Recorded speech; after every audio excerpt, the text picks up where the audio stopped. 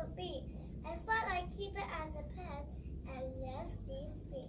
and make him some pajamas and a pillow for